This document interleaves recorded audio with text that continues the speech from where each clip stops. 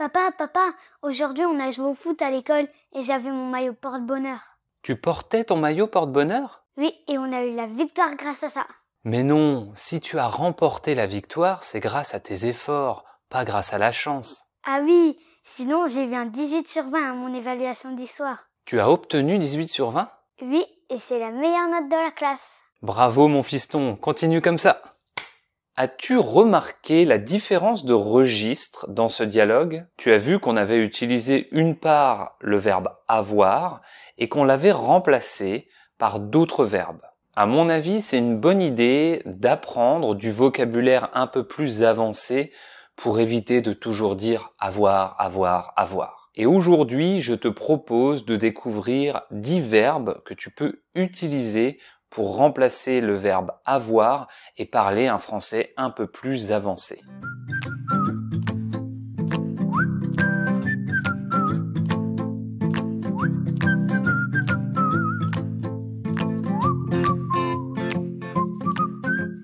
Le verbe avoir, c'est un des verbes les plus utilisés dans la langue française. Hein. Tu connais les deux auxiliaires, avoir et être. Et le fait qu'avoir soit un verbe très utilisé, ça en fait un verbe un peu passe-partout, c'est-à-dire un verbe qui a plein de sens différents.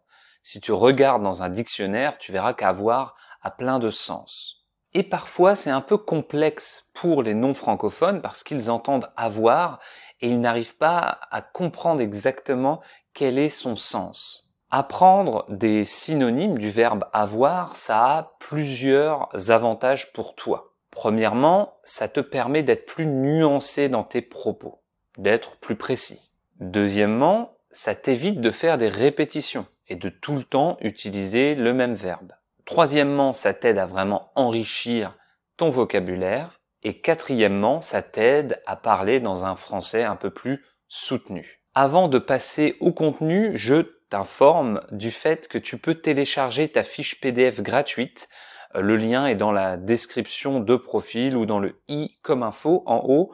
Euh, et en fait, c'est une fiche qui reprend l'ensemble de ces alternatives au verbe avoir avec les exemples, etc. Donc tu peux télécharger ta fiche et voyons maintenant 10 alternatives au verbe avoir. Premièrement, posséder. Ici, posséder, ça remplace le verbe avoir dans le sens être propriétaire de quelque chose. Avoir un bien, un objet comme propriété. Ça nous appartient à nous. Ça s'emploie surtout pour quelque chose de concret, hein, quelque chose qu'on peut toucher et non pas quelque chose d'abstrait. Par exemple, tu peux remplacer la phrase mes parents ont une maison à la campagne par la phrase Mes parents possèdent une maison à la campagne. Ils en sont propriétaires, la maison est à eux. Deuxième synonyme, détenir. Le sens est assez proche. Ici, on est vraiment dans le sens du verbe avoir au sens de posséder, être propriétaire. Détenir, on peut l'utiliser soit avec quelque chose de concret, qu'on peut toucher, de réel, ou quelque chose d'abstrait. Dans la première utilisation, détenir plus quelque chose de concret, on parle souvent d'un objet, hein, détenir un objet, ou détenir un document. C'est quelque chose qu'on possède qui est à nous, qui est en notre possession. Par exemple, les passagers de ce train doivent détenir une carte de transport. Ils doivent détenir un ticket. Ils doivent l'avoir en leur possession. Détenir est légèrement plus soutenu que posséder. La deuxième utilisation, détenir plus quelque chose d'abstrait, ça peut être utilisé dans le cadre d'un record, hein, on détient un record ou on détient une information. Tu vois que ce sont des choses qu'on ne peut pas toucher. On ne peut pas toucher un record.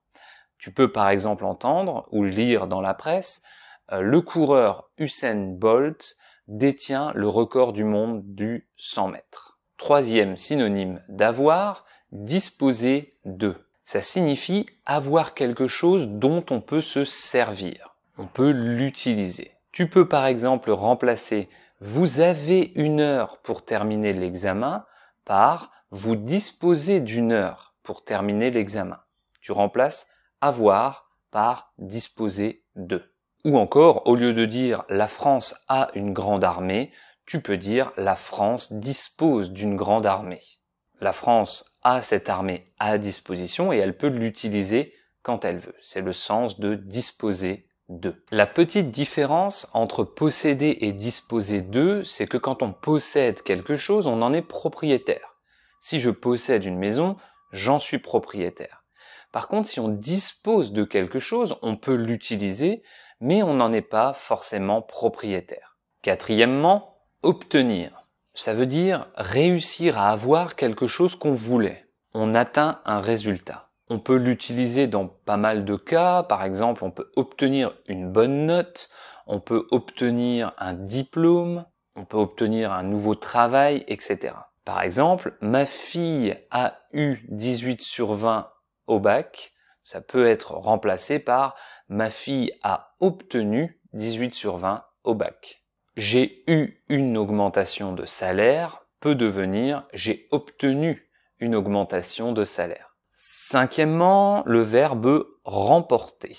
Ici, il remplace le verbe avoir dans le sens d'obtenir quelque chose grâce à ses efforts. On l'utilise très souvent dans le cadre d'une compétition, par exemple. On peut remporter une victoire, une médaille, un prix, un succès. Par exemple, Thomas a eu le premier prix de grammaire cette année peut devenir Thomas a remporté le premier prix de grammaire cette année. Sixièmement, acquérir. Ici, on a le verbe avoir au sens d'acheter quelque chose. On devient propriétaire d'un bien par l'achat. Par exemple, il a acquis cette maison grâce à ses économies. Septièmement, se procurer. Ici, c'est le même sens que le verbe avoir dans le sens d'obtenir.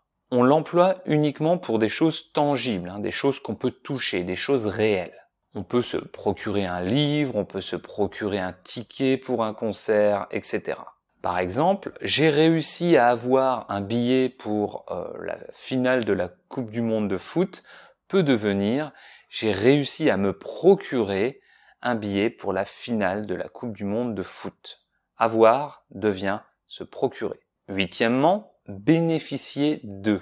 Dans le mot bénéficier, tu retrouves bénéfice, qui indique que c'est quelque chose de positif. Donc bénéficier de, ça veut dire obtenir quelque chose de positif, avoir un avantage.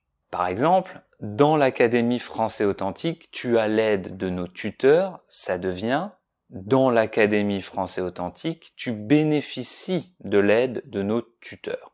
Tu vois que c'est quand même un peu plus précis d'utiliser bénéficier d'eux et que c'est un peu plus avancé, un peu plus élégant. Neuvièmement, porter. Ici, on a le sens d'avoir sur soi. On peut porter une robe, porter un chapeau, porter un t-shirt, on l'a sur soi-même. Hier, Tom avait un t-shirt jaune, ça devient hier, Tom portait un t-shirt jaune. Dixièmement, éprouver. Ici, on a le verbe avoir dans le sens ressentir une émotion. Avoir un regret, ça devient éprouver un regret. Avoir de la colère, ça devient éprouver de la colère. Donc tu vois qu'on l'utilise surtout pour des émotions. Par exemple, en voyant ma mère travailler si dur, j'ai de la peine pour elle. Ça peut être dit sous une forme plus élégante. En voyant ma mère travailler si dur, j'éprouve de la peine pour elle. Donc voilà, j'espère que ça t'a plu. N'oublie pas de télécharger ta fiche PDF qui va reprendre eh bien, les dix verbes synonymes d'avoir avec l'explication plus les exemples. Je te rappelle qu'on a vu dix verbes aujourd'hui pour remplacer euh, le verbe avoir pour parler d'une façon un peu plus avancée. Voici le récapitulatif. Posséder. Détenir. Disposer de. Obtenir. Remporter. Acquérir. Se procurer. Bénéficier de. Porter et éprouver. Si ça t'a plu, n'oublie pas de laisser un petit j'aime pour nous encourager et de partager cette vidéo avec tes amis. Si il y a d'autres sujets de vidéos qui t'intéresseraient, n'hésite pas à nous le dire en commentaire, à nous faire des suggestions. Nous lisons tous les commentaires. Et bien sûr, n'oublie pas de t'abonner à la chaîne YouTube de Français Authentique en activant la cloche pour ne rien manquer. Merci de m'avoir suivi aujourd'hui et je te dis à très bientôt pour du contenu en français authentique. Salut